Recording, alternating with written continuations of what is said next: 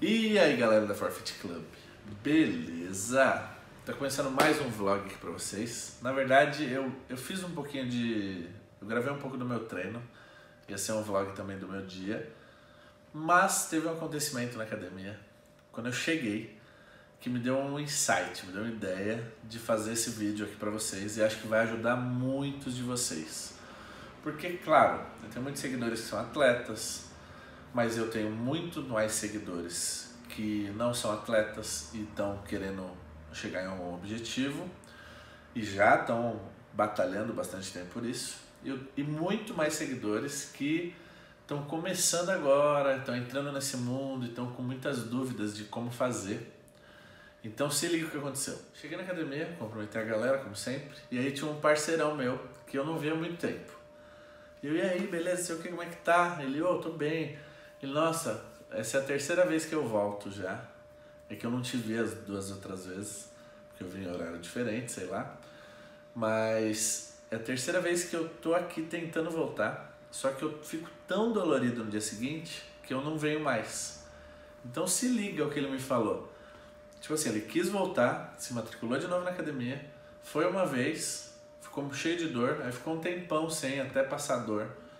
Aí passou, ele foi de novo, mesma coisa. Ficou um tempão, uns 10, 15 dias, e foi de novo. Então, tipo, ele perdeu um mês para voltar e nem voltou, na realidade. Aí eu dei risada falei, mano, não é assim que, que se faz, velho. Se você vai voltar ou você vai começar a treinar, você tem que ter uma inteligência nisso. Porque muitas pessoas nem querem ouvir o professor. Algumas ouvem e também o professor força muito. Então, entenda uma coisa. Você que vai começar e vai voltar ou vai voltar a treinar, você tem que ir muito na manhã, porque senão você vai ficar muito dolorido, sua imunidade vai cair e você vai ter uma dor tão grande que você não vai ter vontade e não vai nem poder treinar o mesmo músculo de novo, por exemplo, porque senão você vai ter uma lesão. Então isso é uma coisa de você ter percepção e pé no chão mais ainda para quem está voltando, porque quem está voltando a treinar já tem uma noção de peso. Ah, já fazia supino com 30, 40 de cada lado. Ele não quer fazer com 5 nem com 10, ele quer fazer com 20, quer fazer com 25, porque está próximo do peso que ele pegou. Quem entrou agora não tem essa noção, mas ele quer também pôr peso porque vai passar vergonha. Então eu resolvi fazer esse vídeo falando sobre quem entrou agora na academia, o que fazer. Então, Renan, entrei na academia, o que, que eu faço agora? Todo mundo vai falar, ah, treina. Lógico, treina. Só que tem muitas coisas envolvidas para você ter um resultado de verdade. Então, use inteligência, primeiramente. Planejamento. Você tem que saber o que você vai fazer. E você tem que ter um foco, um objetivo principal. Então, são três coisas assim essenciais. Então vamos começar assim, com um objetivo. Você pensou, lógico, você entrou na academia, você já sabe o que você quer. Qual é o seu objetivo lá? Eu quero aumentar a massa muscular, eu quero ser um atleta, eu quero, eu sou gordinho, eu quero emagrecer.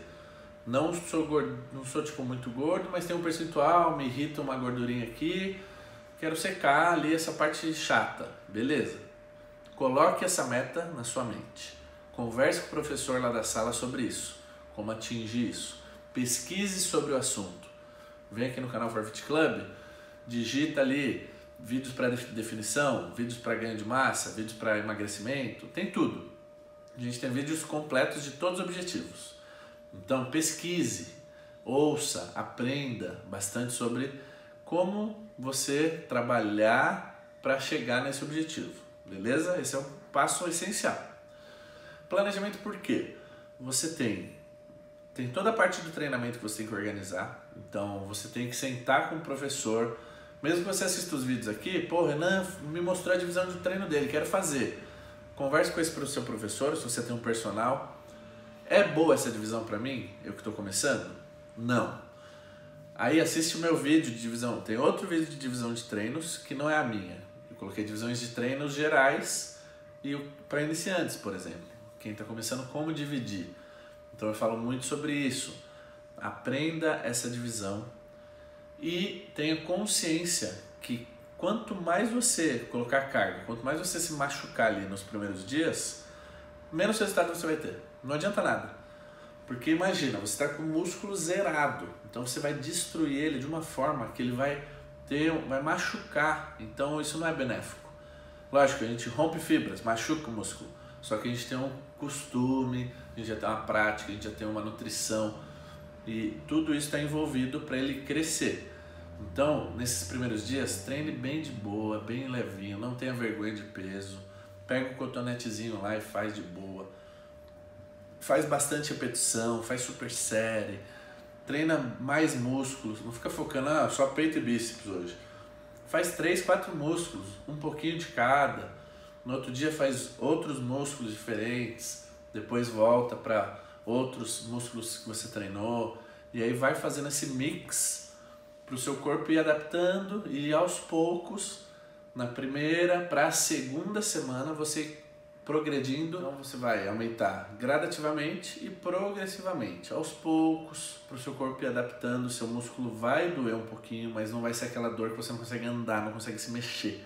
Isso não é legal, isso não, tem, não traz benefício algum para você. Tem que ter dor? Tem, você vai ter que acostumar. Musculação é dor. No pain, no gain. Isso é histórico. Isso é das antigas. Sem dor, sem ganho.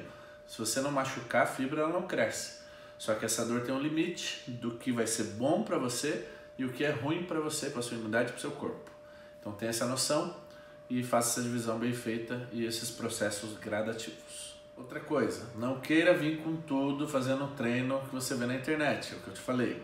Porque muita gente vem com isso, começa a fazer e desiste, porque é um treino muito desgastante, ou é um treino que você nem é acostumado a estar então não vale a pena. Isso serve muito reflexo para dieta. Muitas pessoas já começam a musculação e falam: não, agora vai. Vou fazer zero carbo aqui, vou secar, vou ficar definidão, não sei o quê. Ou não, vou comer igual um boi para ficar gigante, vou, vou buscar os caras monstro. Vá gradativo também, porque você pegando uma restrição tão grande, por exemplo, na dieta, você vai fazer o primeiro dia, Segundo dia, falar, ó, oh, tô me esforçando. Terceiro, já vai falar, meu Deus, como que eu vou seguir isso aqui? No quarto, à noite, você vai estar na hamburgueria comendo hambúrguer com seus amigos. Porque é muito difícil, é muita porrada, é muito restrito. Então não precisa ser tão restrito, vai na moral, vai aos poucos, vai se alimentando bem, põe o carboidrato, carboidrato é importante, principalmente para quem está começando. Use os carbos bons, já falei muitas vezes disso nos meus vídeos, nos meus vlogs. Olha os carbos que eu uso, tem uma variedade, uma variedade imensa, gordura boa. Então saiba juntar a dieta ao treino. Se não adianta nada você vir com tudo no treino que eu falei.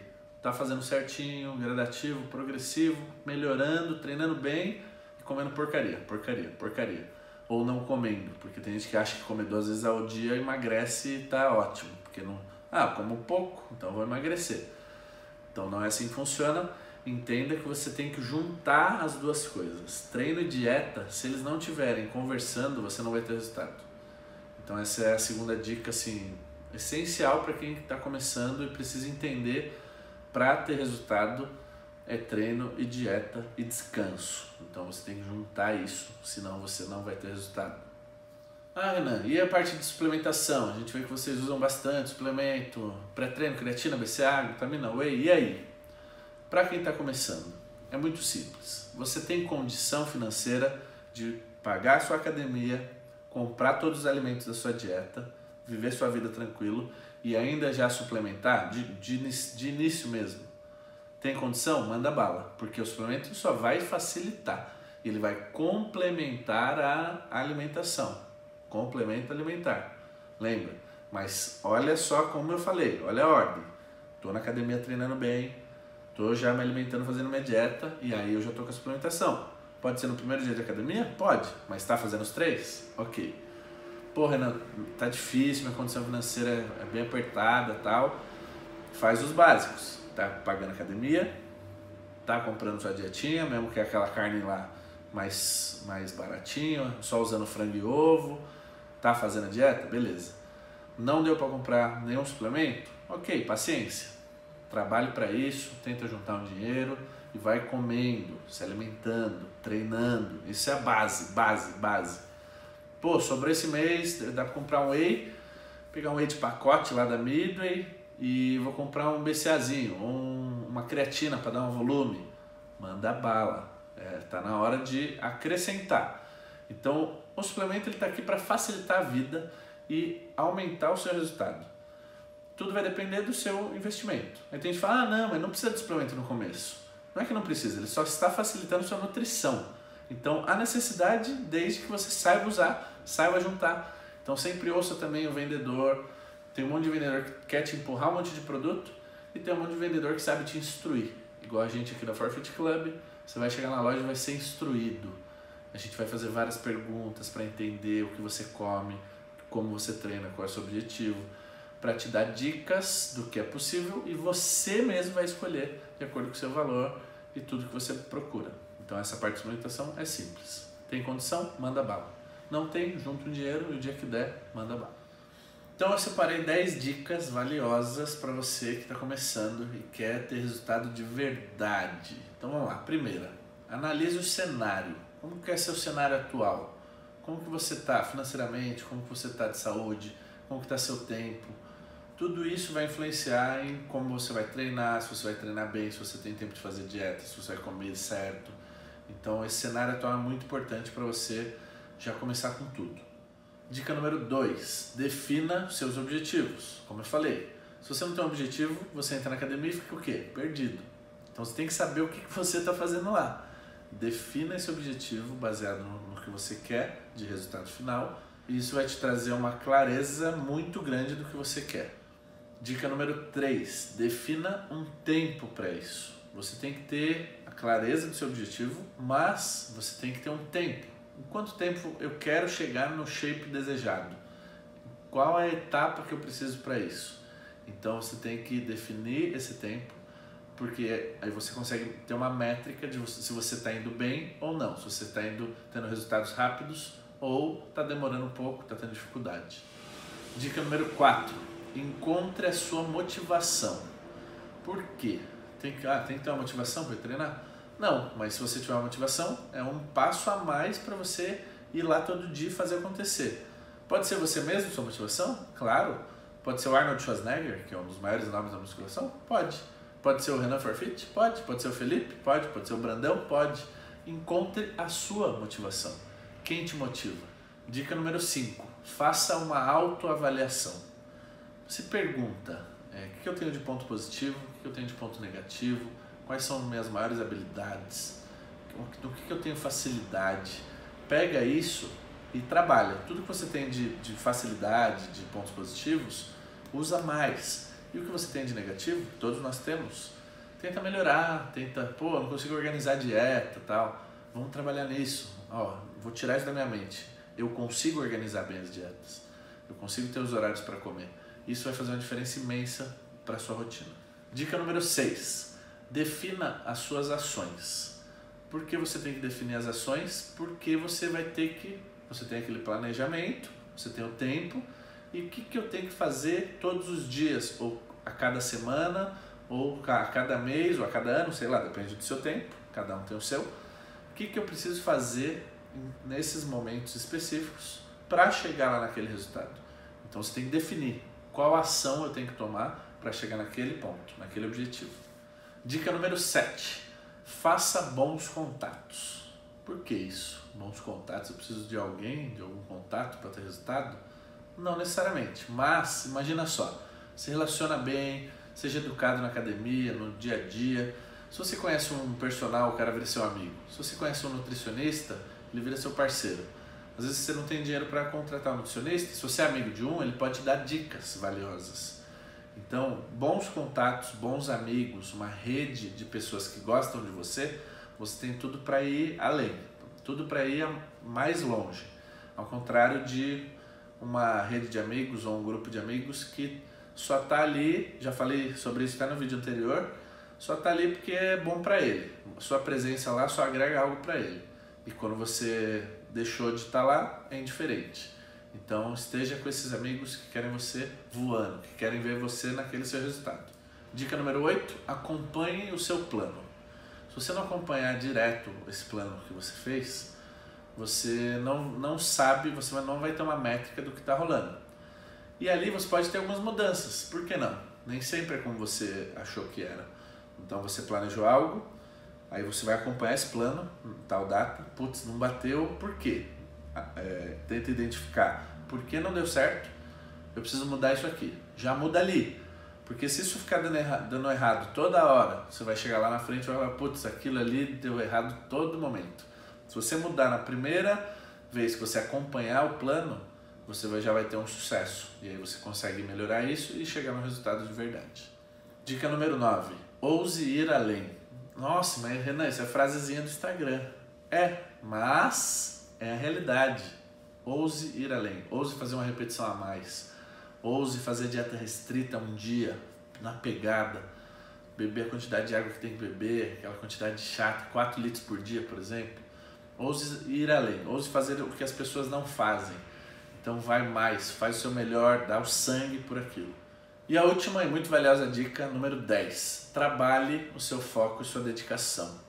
Porque o seu foco e sua dedicação está relacionado a tudo da sua vida.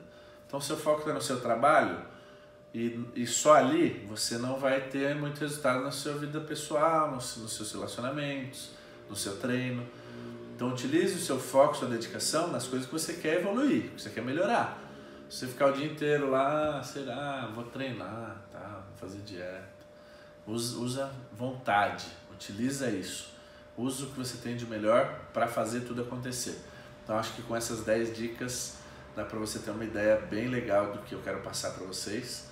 E tudo está relacionado com a mente, com a sua vontade, com os seus objetivos, com sua organização, seu planejamento. Então tem muita coisa envolvida, a não ser só aquilo lá que todo mundo acha. Ah, comecei a academia é só treinar. É só treinar, mas tem muita coisa envolvida, porque esse mundo não é fácil.